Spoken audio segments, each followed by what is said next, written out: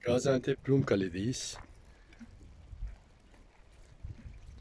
S- Seyir cam terası yaklaşık 160 metre ile Türkiye'nin en büyük cam terası olduğu söyleniyor. Bakın.